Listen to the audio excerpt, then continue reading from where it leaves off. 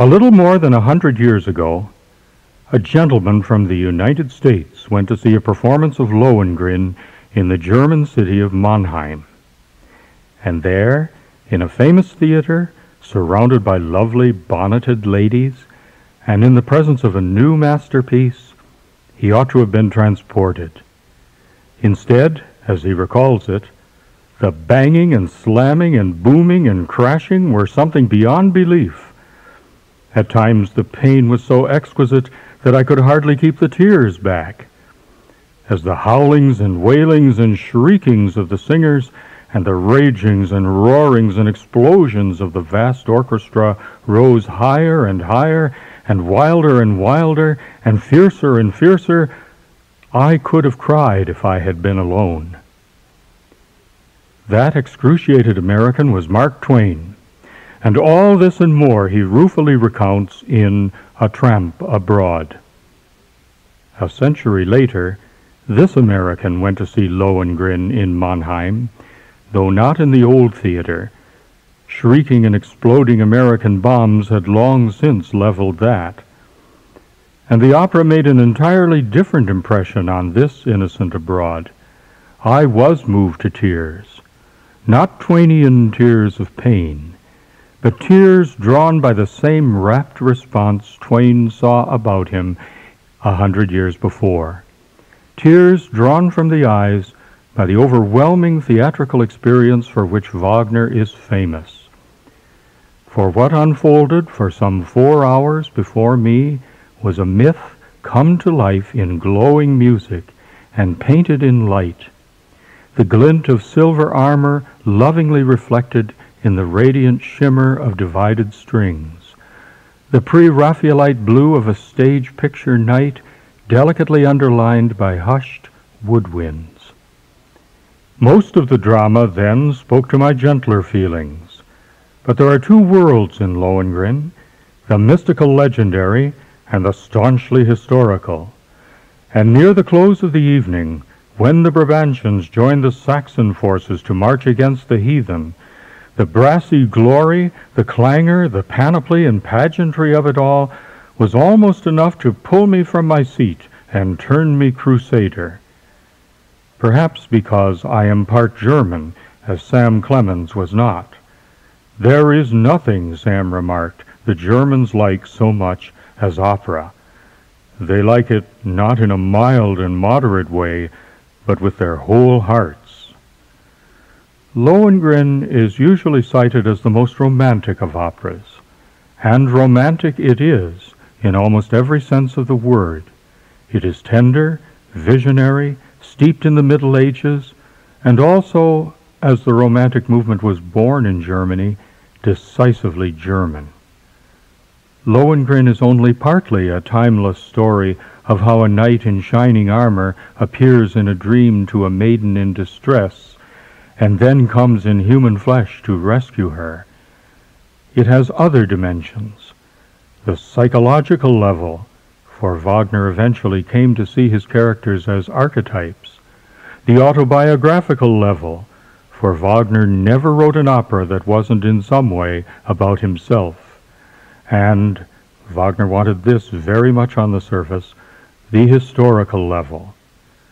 Lohengrin, which Mark Twain described as a great chorus composed entirely of maniacs, in a curious sort of play that brought the audience to their feet in one solid, mighty multitude, is a story about how the German states of Europe once aspired to unity, and how for one brief shining moment they almost achieved it, strengthened in their purpose by a sign from heaven.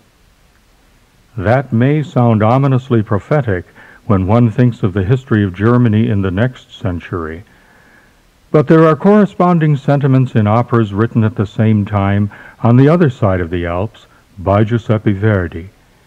German and Italian states alike were struggling towards national unity when Wagner and Verdi began writing, and the two young composers, each a patriot in his own way, thought at the time that their work could and should serve nationalistic purposes.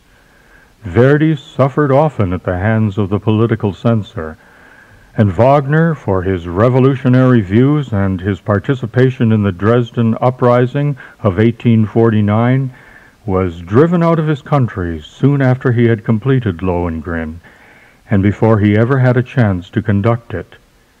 It was Franz Liszt who conducted the premiere with inadequate forces in Weimar the next year. And although triumphant performances of Lohengrin followed throughout Germany, it was a full twelve years before the exiled Wagner could see or hear it. It was a full five years before he was able to hear even a single note of it. In Zurich, in 1853, he gathered together an orchestra for a concert of his own music, and there, rehearsing his players, he heard for the first time the opening measures of the prelude to Act One, with the absolutely new sound of first and second violin sections divided each into four parts and playing in the upper reaches of their registers.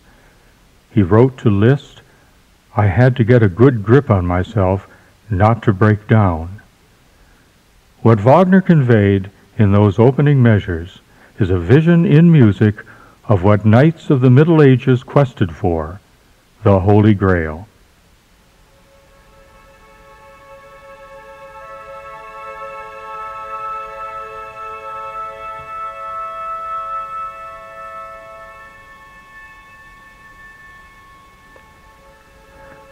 Out of the clear blue expanses of the sky, there seems to form a wonderful vision.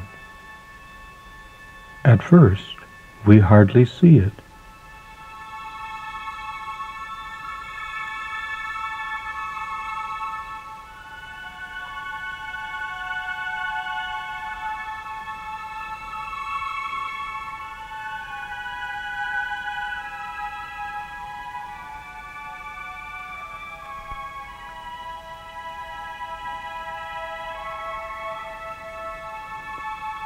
But gradually there emerges more and more clearly an army of angels bearing in its midst the Holy Grail.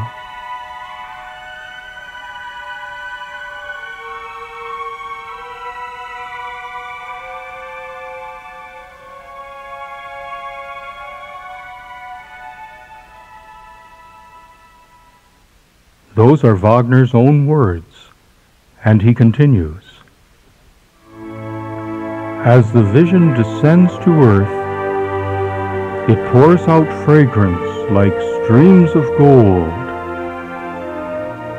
It ravishes the senses of the man who sees it.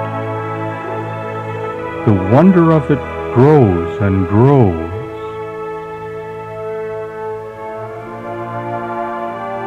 Until it seems that the joy of it will break of its own tension.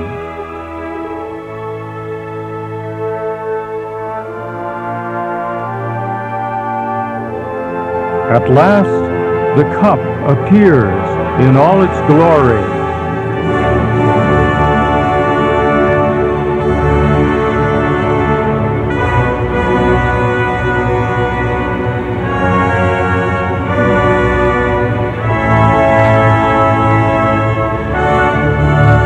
Radiating beams of fire.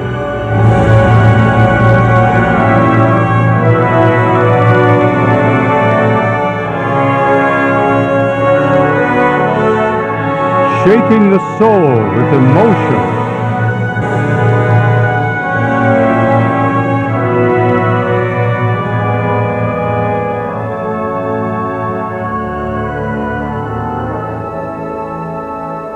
He who sees it sinks to his knees in adoration.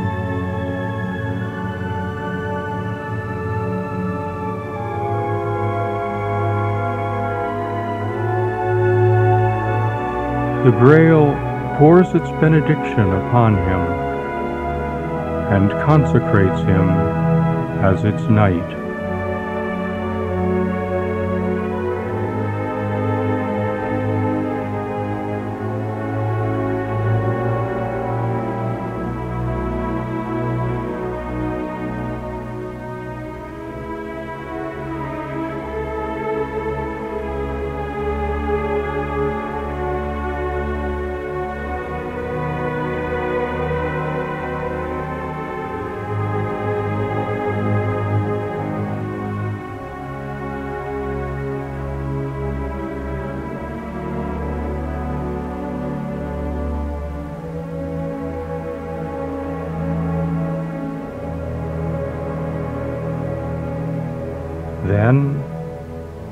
Gradually dim.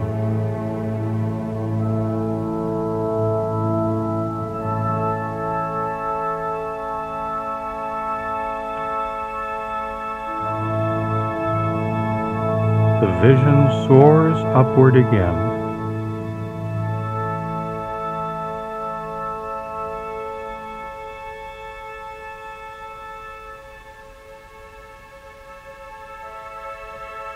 To the clear blue expanses of the sky.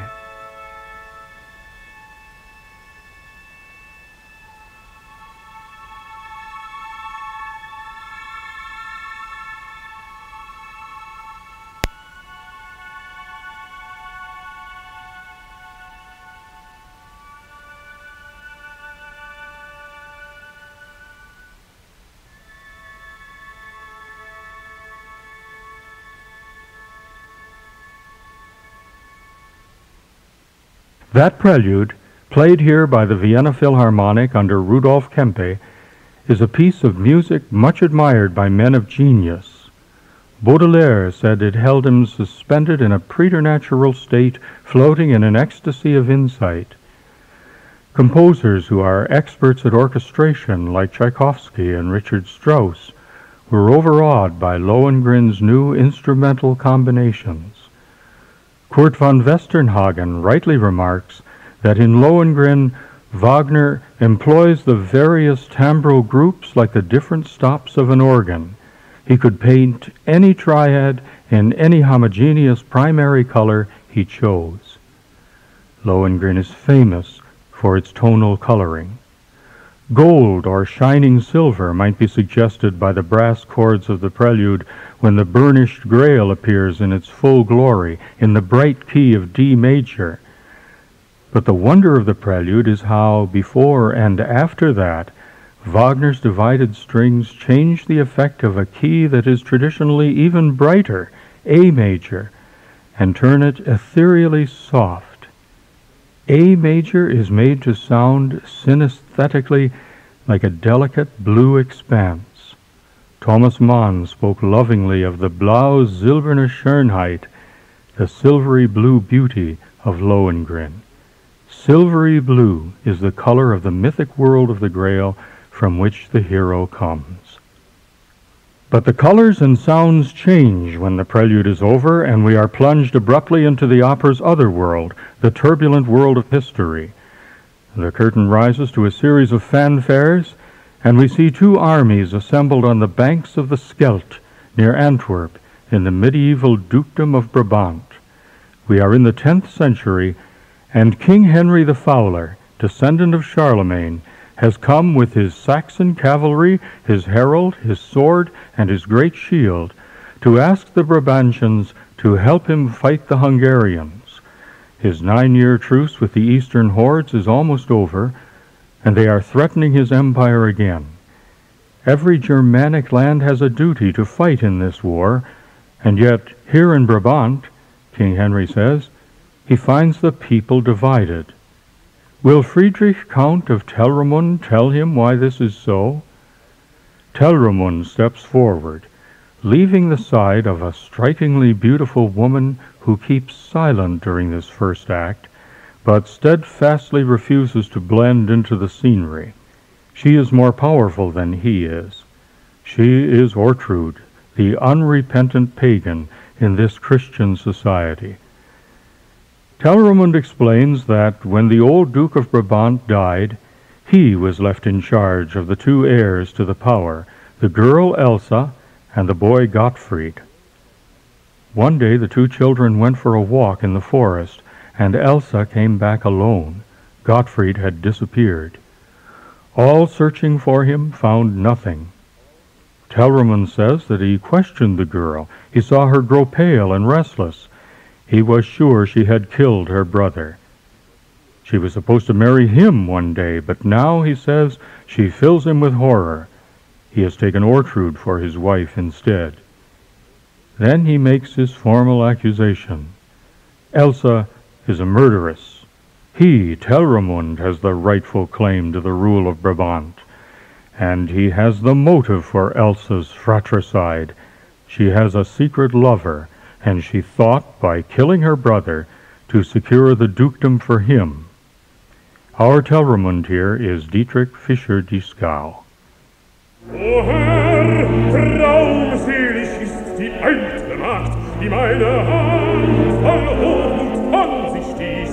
Geheimer Botschaft klag ich drum sie an, sie könnten wenn sie des Bruders ledig, dann könnte sie als Herrin von Brabant mit rechtem Lehns an ihre Hand verwehren und offen das geheime Wohl entfliegen.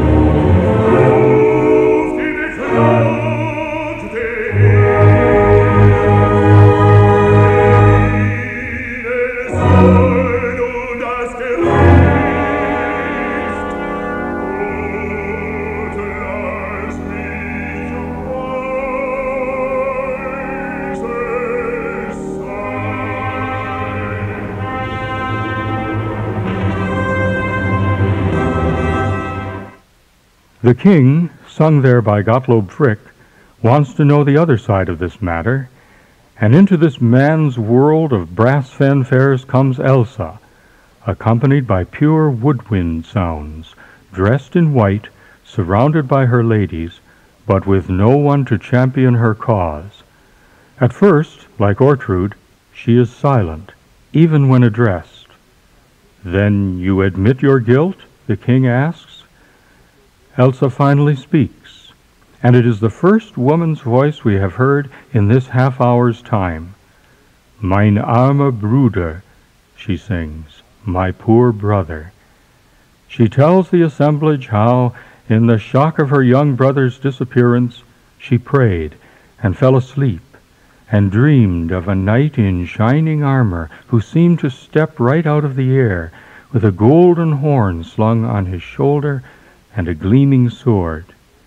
The high violins sound the grail music of the prelude, as Elsa sings how, in her dream, the glorious knight told her he would be her defender. Here, as Elsa, is Elisabeth Grümmer.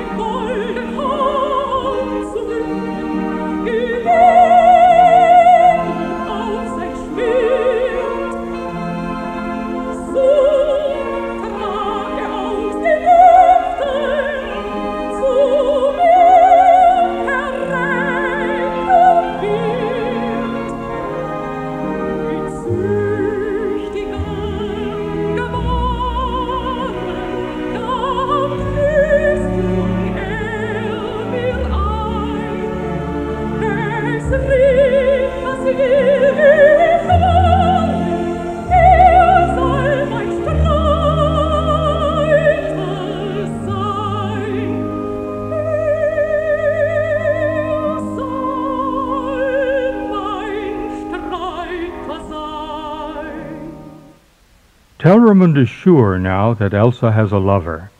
He reminds the German king, In the past I helped you fight the Danes, and Henry admits, I have found no more trustworthy warrior anywhere than Friedrich von Telramund. So the king's only recourse is to let God decide the issue. He declares a Gottesgericht, a trial by combat. But who will fight for Elsa's cause? Now we'll get the name of her lover, Telramund exclaims. The king's herald and his four trumpeters send the royal summons to the four winds. But Elsa's knight, wherever he may be, does not respond, till, on the third summons, she falls on her knees and prays. And suddenly the people sight him coming down the Scheldt in a little boat, drawn by a swan. It is a wonderful climactic moment, artfully prepared for for almost an hour.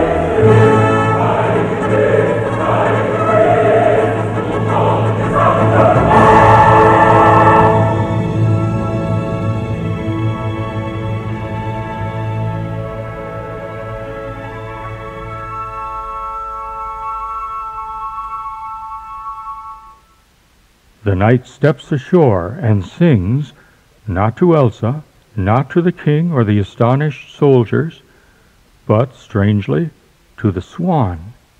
Farewell, my faithful swan. Our Lohengrin is Jess Thomas.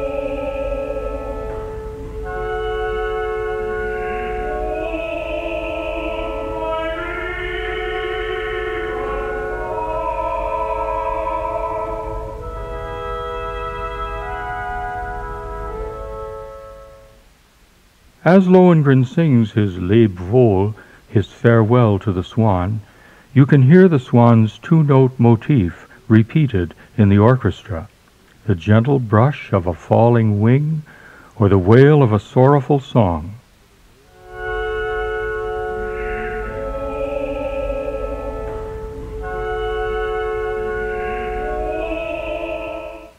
It actually comes out of the first measures of the prelude at the end of this phrase.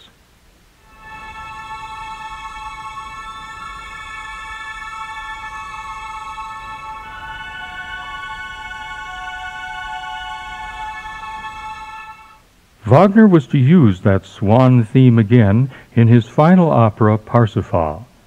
He drew his Lohengrin story from several medieval sources dealing with Parsifal's son, Loherangrin, perhaps Garin of Lorraine, sent by God to aid the kingdom of Brabant.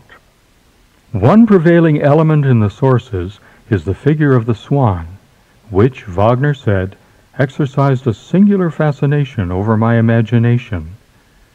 Germanic folklore abounds with stories of children transformed into swans. A swan draws Loherangrin's boat. A swan boat hero in an old French source fathers a son who fathers the great crusader Godfrey of Bouillon. That is the way mythic stories like the Grail legends spread across Europe in the Middle Ages. Their picturesque details clustering and combining and blended often with an element of half-understood history. Wagner's swan turns and draws its little boat up the river again, and the swan knight, whom we shall call Lohengrin, though the others in the opera will not know his name till the last scene, extends his courtesies to King Henry, and then asks Elsa, first, will she put aside all fear if he champions her cause? Then will she have him for her husband if he is victorious? Then, strangely, will she promise never to ask his name, what he is, or whence he came? She promises everything. He repeats his third and last question in a higher key to this all-important motif, the forbidden question motif. Nie sollst du mich befragen. Never must you ask me.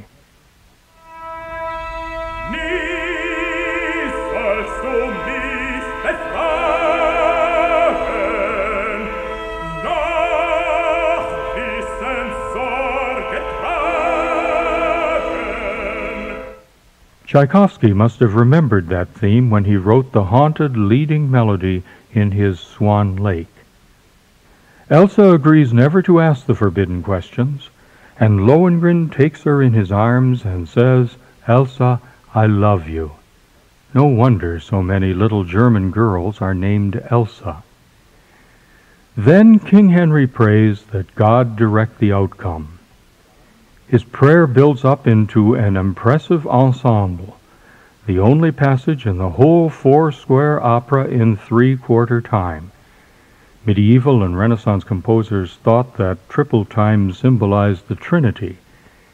Then the king ceremoniously strikes his great shield three times, the Trinity again, and the combatants square off. Lohengrin quickly fells Telramund, in some productions, simply by holding his cross-hilted sword on high. Elsa is vindicated. A miracle of grace has been worked in old Brabant. It's a first act that builds steadily and inevitably to its climaxes, an act that Richard Strauss cited to his famous librettist Hugo von Hofmannsthal as ideal in its structure. But the second act surpasses it. Strauss, when he was planning his Rosenkavalier, wrote to Hofmannsthal that he wanted in his second act what Wagner got in the second act of Lohengrin, a sudden, unexpected explosion near the end that would set the entire stage wondering. Unfortunately, Strauss didn't have in Rosenkavalier a character of the explosive force of Wagner's Ortrud. The second act begins with a scene between Ortrud and Telramund that clearly anticipates some of the great dialogues, the dramatic confrontations that Wagner was to write in the ring. Ortrud, who stood the whole length of the first act in silence, singing only in the ensemble, where she expressed her silent thoughts, now comes into her own. It is night, outside the palace and minster of Brabant. Before dawn, the two outcasts must leave the city. The hushed orchestra plays Ortrud's theme, a sinister theme in F sharp minor that might have come out of Wagner's Ring.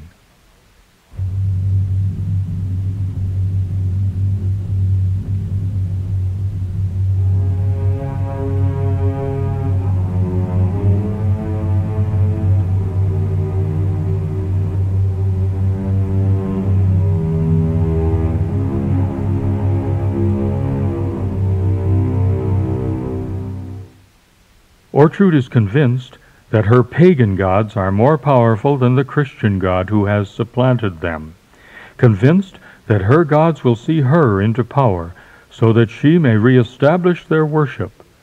Wagner gives Ortrud a second theme, the serpent-like temptation theme.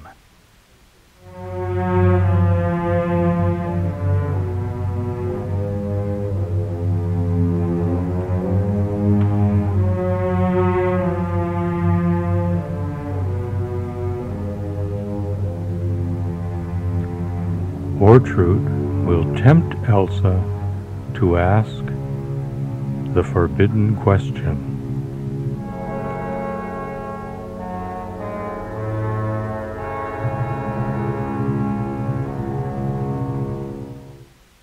A fanfare sounds from within the palace. Elsa's vindication is being celebrated. Telramund turns on his consort. She has destroyed his honor he has given up his God for hers and lost. I have even lost the weapon to kill you with, he says, as he throws himself on the ground in despair. We hear that Ortrud had seduced him in her forest dwelling, telling him of a prophecy that the power in Brabant was to revert to her ancient Frisian line, insisting that she had actually seen Elsa drown her little brother in a pond. Now she has to screw her lover's courage up again. Do you know that if this swan knight were made to tell his name, all his strength would be gone? You've got to work on Elsa. Tell her her knight used magic to win the trial by combat. Telramund, a proud warrior, rises to swear vengeance with Ortrud, ready to believe he has been defeated through magic, eager to reclaim his honor. Then, in an arc of light, Elsa appears in woodwind white on a balcony above to tell the breezes which used to hear her sorrows of her new happiness. Her song is punctuated by the sinister voices of the pair in the shadows below.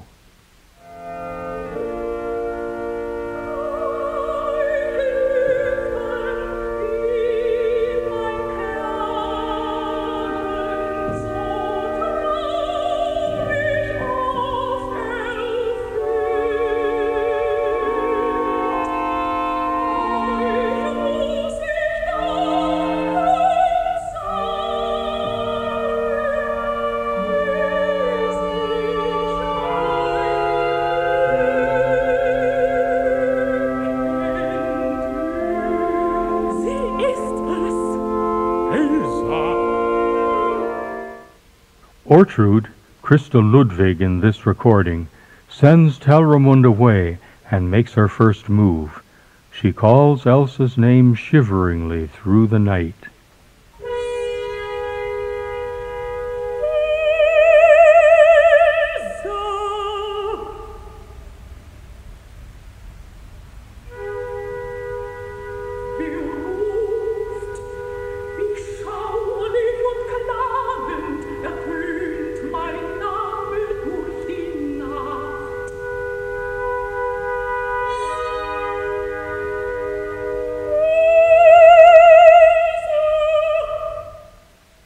Ortrud looks up to Elsa and claims that her Telramund is now repentant. And why should she, who has never harmed anyone, go into exile too? Elsa, a good Christian, cannot turn away from the sorrows of others at her own moment of happiness. She leaves the balcony to descend to the courtyard below, and Ortrud, alone on the stage, sings a hair-raising invocation to her pagan gods, Wotan and Freya, asking them to steel her for action, to bless her with deceit, to sweeten her revenge.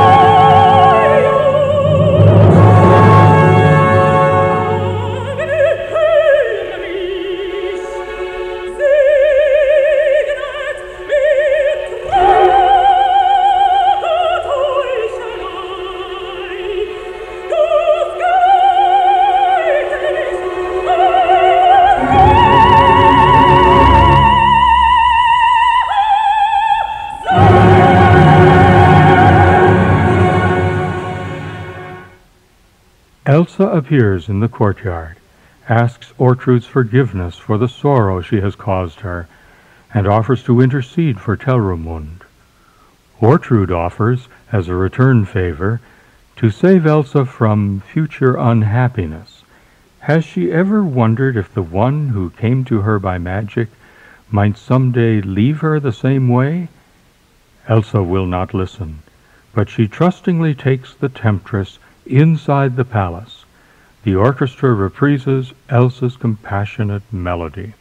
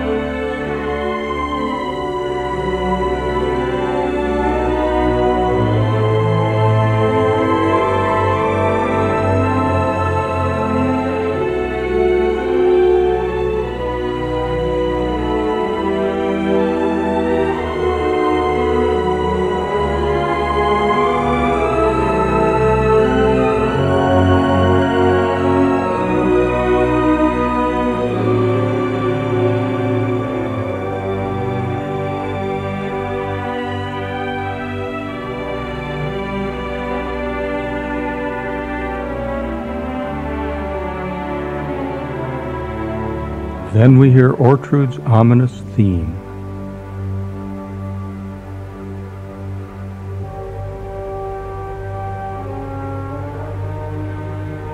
And Telramund comes out of the shadows to say, Thus evil enters this house.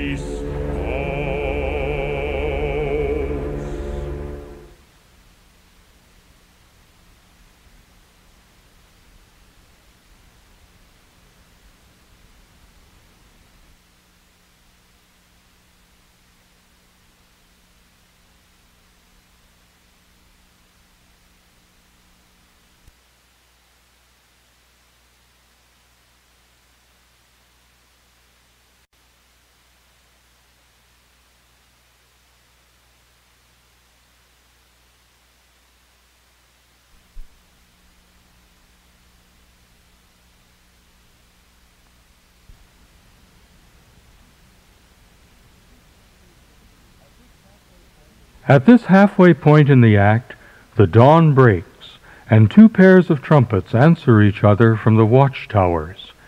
The king's herald announces that Telramund is banished, that Elsa and her god-sent knight will be wed that day, and that on the next the bridegroom will lead King Henry's armies against the Hungarians. But four discontented noblemen in the crowd wonder why they should follow a foreign king against an enemy who has never attacked them. And suddenly they are joined in the shadows by one who is ready to lead them in rebellion, Telramund. Page boys clear a path for Elsa to the Minster Steps, the biggest ensemble in operatic history, at least as far as 1850, is beginning to build.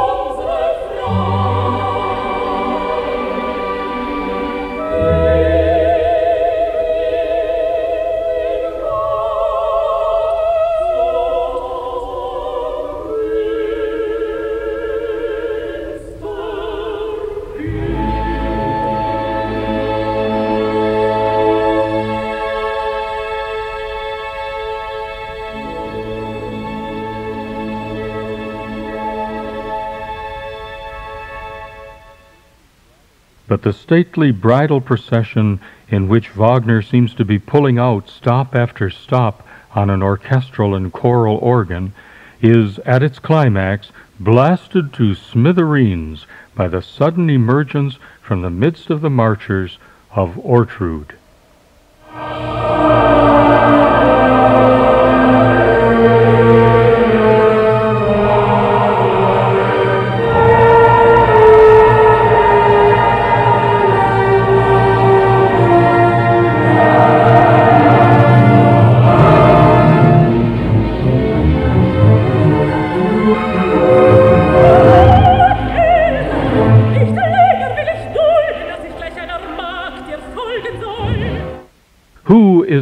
Bridegroom, Ortrud cries, that the bride cannot even name. Can you name him? She points at Elsa. You cannot. Do you know where he came from? Because that's where he will go when he leaves you. Elsa, stunned at first, rallies with spirit. Anyone can see that my knight is noble and good. God himself has vindicated me through him. Let the people judge. The people shout their favorable verdict. But Ortrud raises the spectre she knows will defeat this medieval populace. He has used magic to win his victory. Then the Swan Knight himself appears from the palace, with King Henry and his Saxons, to order Ortrud away. The processional music builds up again, only to be shattered again as Telramund appears, to fling into the knight's face the direct charge of using magic, and to shout, Reveal your name. If you won't answer, then the judgment against me has no legal force. I'm not answerable to you, Lohengrin responds, nor even to the king, who never questioned me. I'm answerable only to Elsa. Does she want to ask me anything? Elsa hesitates and the orchestra plays the temptation motif. Telramund sidles up to her to whisper, I'll be nearby on your wedding night. All I need is one tiny wound. If I get that, we'll know what it is he's hiding, what you must know about him. Elsa blanches. No, never. Telramund is driven off. Once again the great bridal ensemble builds up, and moves at last to its conclusion. But when at the minster portal Lohengrin takes Elsa in his arms, she sees over his gleaming shoulder the menacing figure of Ortrud, and the orchestra thunders out the theme of the question Elsa is forbidden, but is now very much tempted to ask.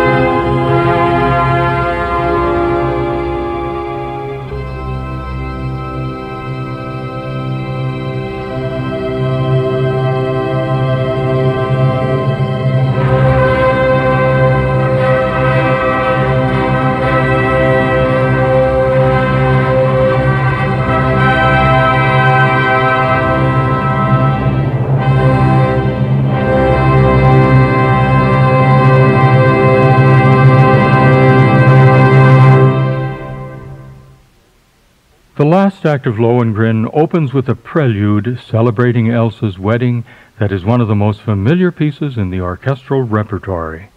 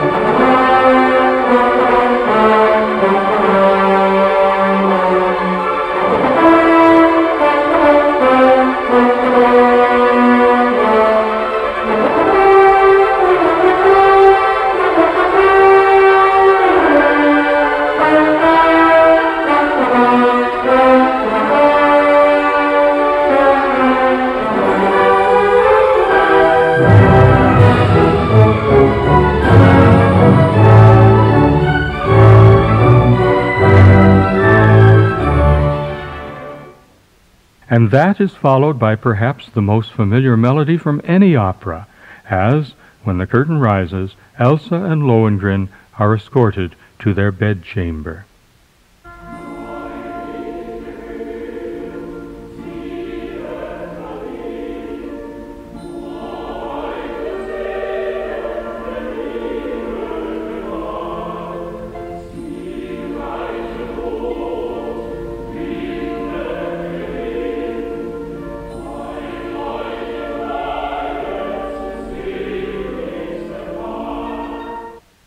It comes as a surprise to many brides to discover that the so-called wedding march from Lohengrin was written to accompany the bride's entrance not into the church, but into the bedroom.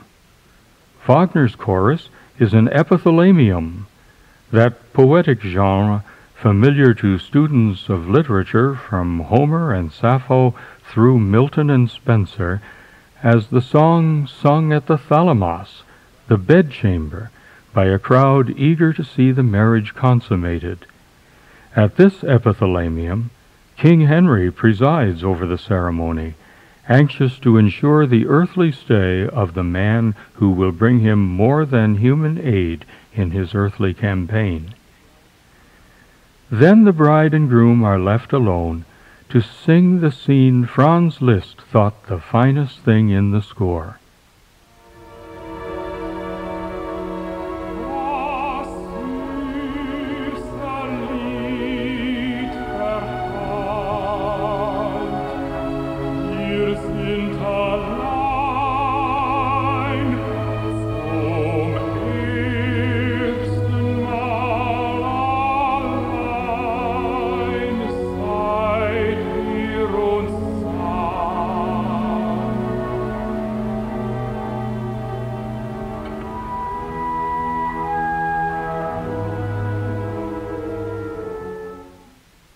Surely no composer has put such an intimate, tender moment on the opera stage. But the knight ought not to call his Elsa so often by her name when she does not know his. Can he not tell it to her now that they are alone? She is afraid of the strange power he seems to possess. Can it not destroy him? And what does the swan mean? She imagines she sees it coming on the water to take him away. Has he summoned it already? How long will it be till he leaves her? The music mounts, and Elsa, yielding to the suspicions sown in her mind by Ortrud, asks the forbidden questions.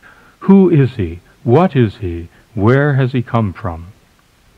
At that very moment, as if summoned up by her questions, Telramund is there, with his four henchmen, with his sword drawn. Elsa screams and hands her husband his sword. Telramund falls. There is a long silence, only the timpani sound, like heartbeats.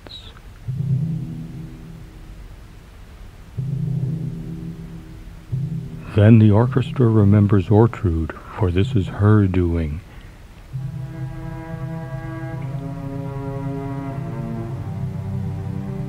And Lohengrin says, Now all our happiness is over.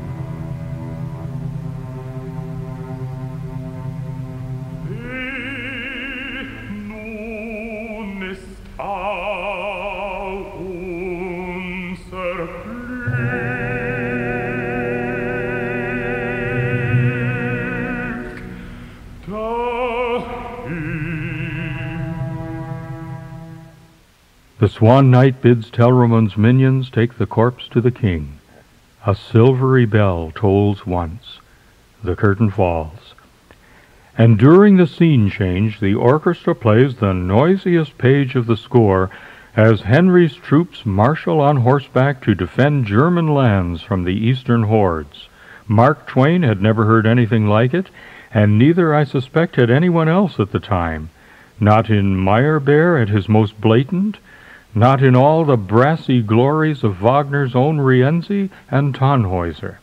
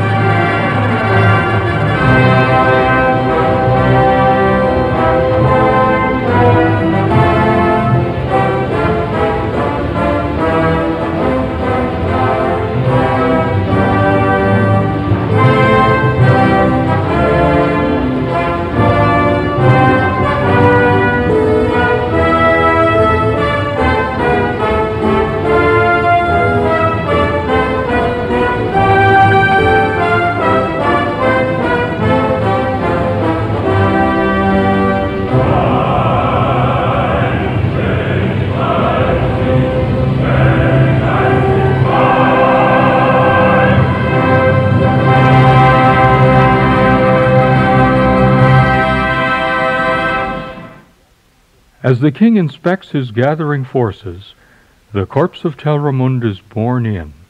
Elsa follows it silently, and her knight appears, dressed as he was at his first appearance. He cannot lead them into battle. That is now forbidden to him. He uncovers the corpse. Was I right to kill this man in self-defense in this night now past? The armies noisily proclaim him right. He announces that Elsa has asked the questions he had forbidden her. Now he will tell them who he is.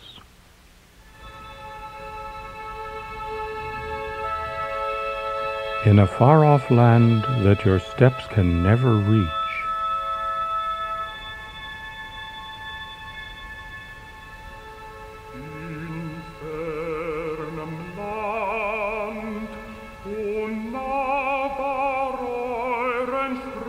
There is a castle known as Monsalvat.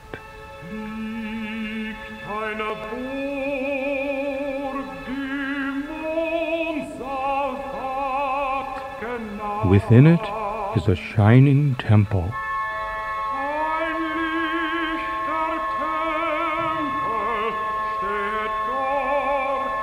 More wondrous than anything on earth.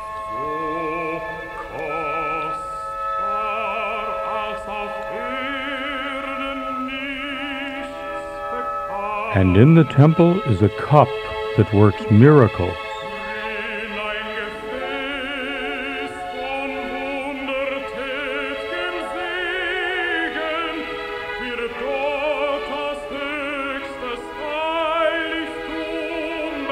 Guarded by men.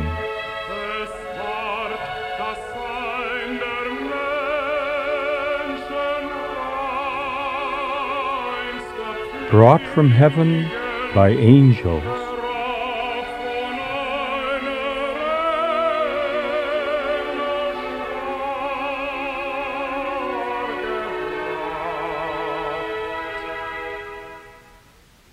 The cup, Lohengrin says, is the Holy Grail. Once a year a dove descends from heaven to hover over it and renew its power. It calls knights to its service arms them with more than human might, sends them out to do good deeds, and keeps them safe from death so long as they remain unknown, for the source of the Grail's power must be kept secret. And if a knight reveals who he is, he must leave those he has come to help. Now Elsa's knight sings, Hear me while I answer the forbidden questions. I was sent here by the Grail.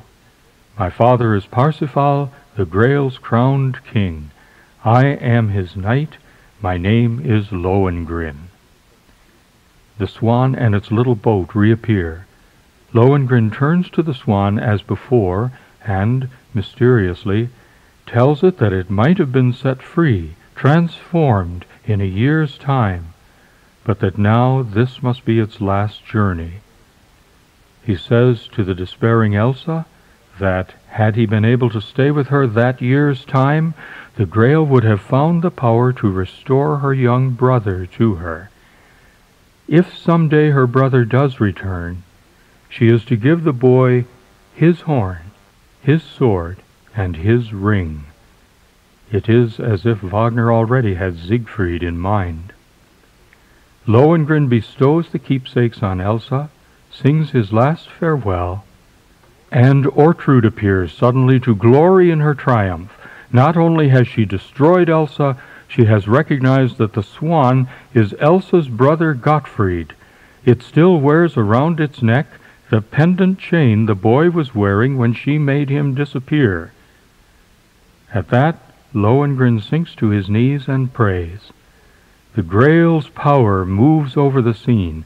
We know this because the orchestra sounds the Grail theme, and a white dove descends above the swan boat. The dove that descends only once a year, the dove that for Grail knights marks the passing of a year. It is as if time and space have been overcome.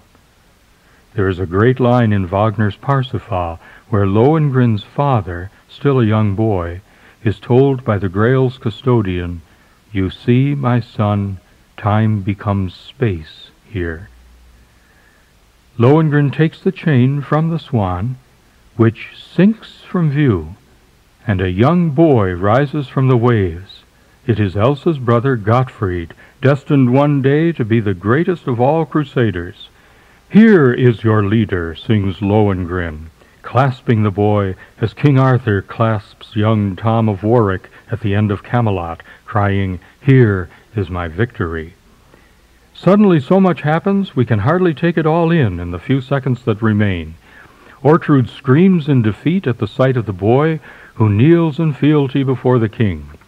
Then Elsa takes her brother into her arms, but over his shoulder she sees her knight disappearing in the little boat, his head bowed sadly, led away by the Grail's dove. Elsa dies in her little brother's arms. But suddenly the busy orchestra has shifted from a tragic D minor to bright A major to the Grail motif. And just as we reach the two notes of it that had symbolized the swan, the melody lifts instead to a last triumphant A major chord.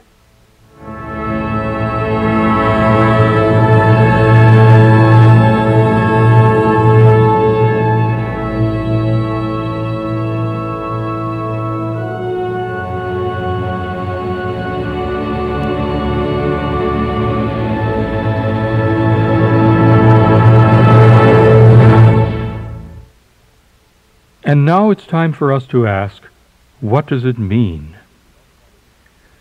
Let's start with the autobiographical element. It's clear that Wagner didn't plan this consciously.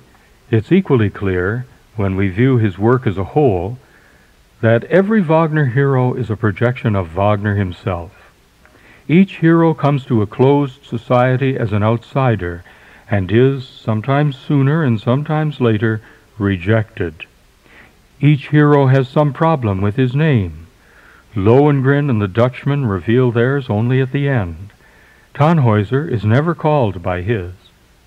Parsifal has to be told his. Tristan disguises himself as Tantris and Siegmund as Wehwalt. Walter, a Franconian knight, is at first rejected by the bourgeois master singers of Nuremberg. They begin, these heroes, to fall into a pattern, some of it due to the myths, legends, and traditions in the sources, but some of it due as well to Wagner's rearrangement of those sources. Wagner's heroes are all lonely, pseudonymous outsiders seeking redemption in one faithful woman. They are figures with whom Wagner, consciously or no, identified. Like Lohengrin, Wagner, the Dresden insurgent, hoped to light the way to German unity. He failed in that, and he was rejected again and again by closed societies. And though he needed and sought a woman to be his helpmate, it wasn't till long after Lohengrin that he found one, not in his first wife, Minna, who he discovered could never share his creative life, but in his second wife, Franz Liszt's daughter, Cosima, who gave him support for the rest of his days and beyond, and never questioned the wonders he worked in his art. But that was years later.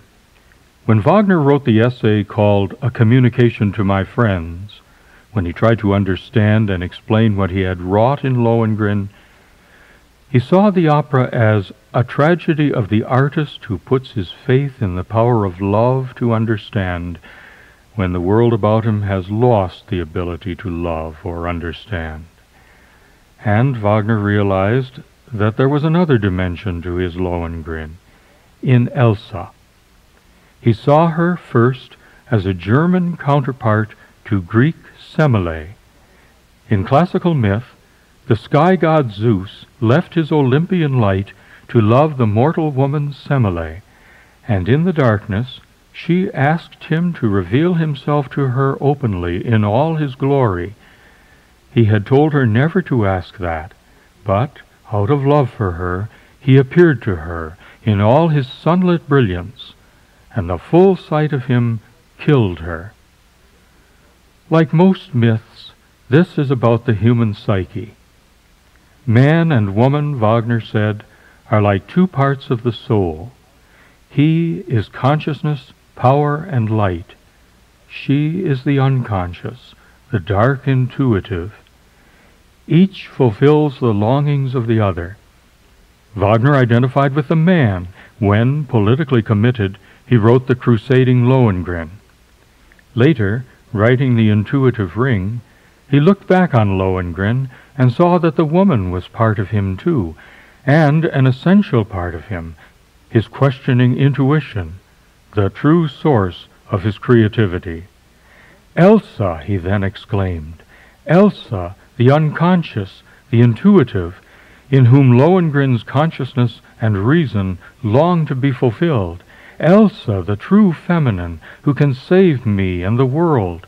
Elsa, the feminine, hitherto not understood by me, now understood at last. Ernest Newman, reading that confession, said, Well, who in the name of heaven takes Lohengrin and Elsa so seriously as that? Andrew Porter responded, rightly, Wagner did.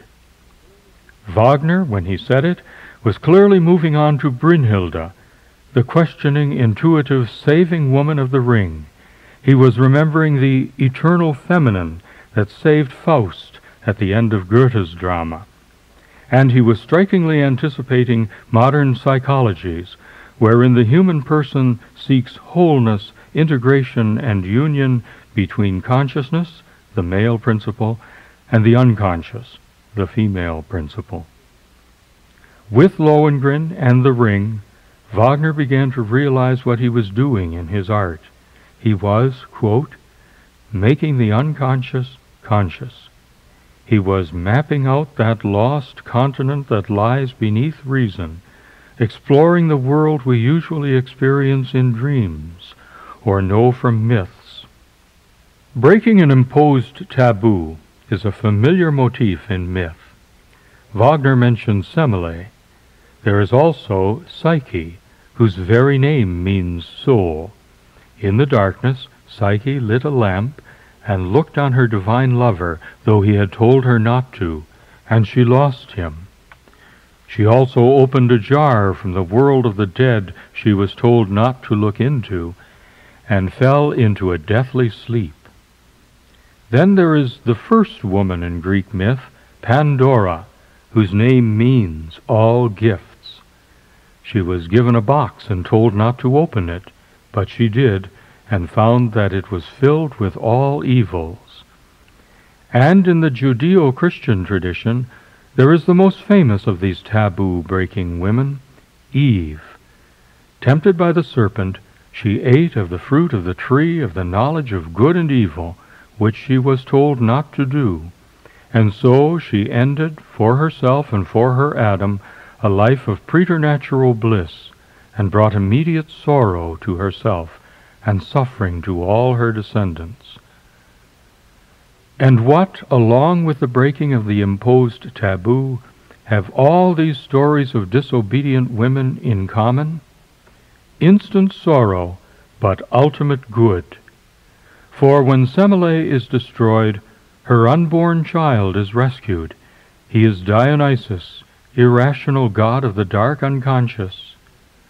And when Psyche is wakened from her deathly sleep, her lover makes her immortal. He is Eros, irrational god of love. And when Pandora unleashes all evils upon the world, she finds one last winged creature inside the box, Elpis, the hitherto unknown spirit of hope for the world. Instant sorrow, ultimate good. The emergence into the world of a new power. The Church in her liturgy calls Eve's breaking of the taboo a felix culpa, a happy fault, because it began the whole wonderful plan of God's redemption of the human race, and in time brought the world talem redemptorem, a great Redeemer in Christ. I think mythologists agree, and I think that all but the most fundamentalist Christian writers agree, that these taboo breaking stories describe a great evolutionary moment in human prehistory, when the race passed from a blissful state of unconsciousness, a state when humans lived through instinct and intuition, to the much more problematic state of consciousness, when reason emerged, and the race came to know what was good and what was evil. At first, this may have seemed a catastrophe, a tragic loss. Ultimately, it was a triumph. Man evolved, He emerged into a state where he was fully conscious, but with his psyche still rooted in the unconscious. And if it is the woman in all these myths who takes the evolutionary step first, it is not because she is the more frail, it is because she is the more intuitive. She knows intuitively that the step must be taken. Then, despite immediate loss, there is ultimately progress. And what of Lohengrin's most eloquent symbol, the swan? The myth makers of the Dark and Middle Ages, the best intuitors in our Western tradition, put the swan into their version of the woman breaking the taboo myth.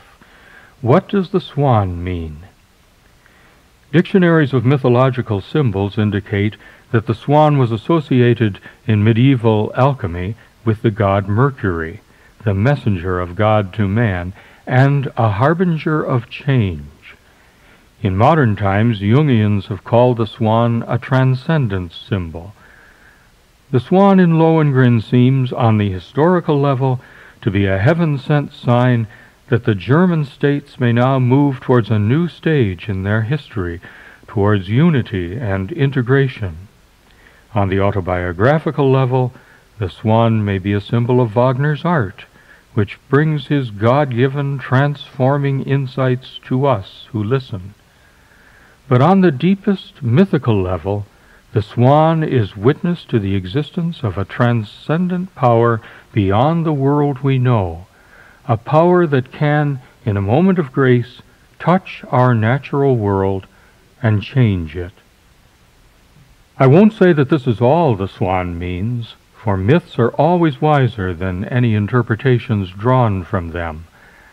But it is clear that transformations are happening quickly with the transformation of the swan at the close of Lohengrin.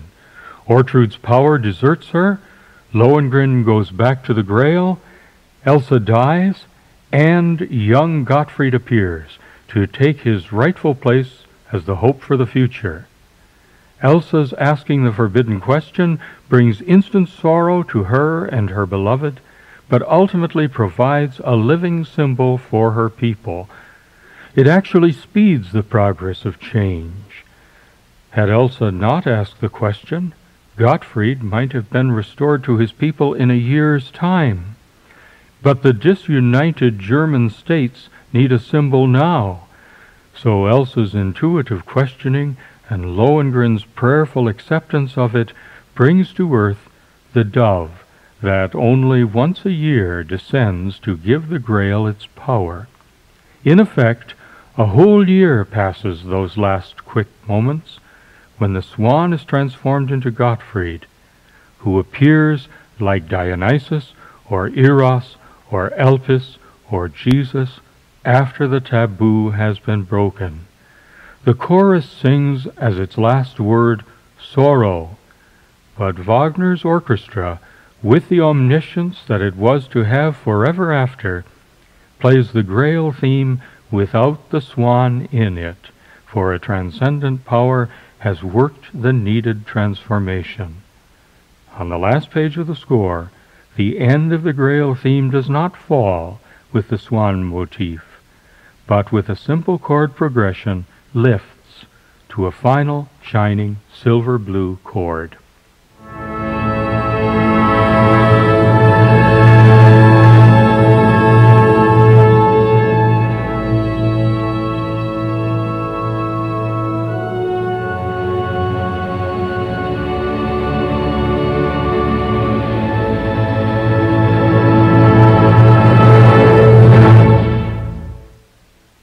I don't believe that Wagner consciously planned all this, but I do believe he intuited it. Why haven't any of our critics seen this in Lohengrin? Perhaps because nine plot synopses out of ten will tell you that it was Ortrud who changed young Gottfried into a swan. But Ortrud recognizes that the swan is Gottfried only when she sees the chain with which she enchanted the boy still hanging on the swan's neck. She made Gottfried disappear, but was it she who turned him into a swan? Could it not have been the Grail's power, a power for good, that preserved the boy till the danger was past, as that beautiful transcendent symbol? In Wagner's medieval sources, it is a power for good that preserves threatened children as swans.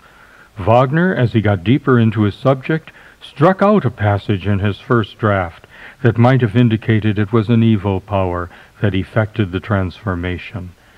And musically, the swan is associated not with Ortrud's F sharp minor, but with the Grail's ethereal A major. It was the Grail that saved Gottfried from Ortrud by changing him into this symbolic form, and then sent him back to the land he would one day rule with the knight who knew who he was, who would defeat the evil that had almost destroyed him, and restore him a boy again to his rightful throne when the danger was past. Many a storybook prince, like Camelot's King Arthur, is metamorphosed into a bird or a beast, to be preserved for a time from harm and to learn from his experience in the animal kingdom how to govern his people when he grows up and becomes king. It's a romantic idea, and it appealed powerfully to a romantic young king who didn't know how to govern but wished he did, who wasn't chaste but longed to be, who loved Lohengrin and built swan castles, even a lake with a swan boat in it to externalize his longings. Perhaps that young king, Wagner's patron Ludwig II, should have the last say on Lohengrin. He sensed that the swan was a transcendent symbol, and no king wanted to find a transcendent world to help him more than he did. All the same, I'll save the last say for myself.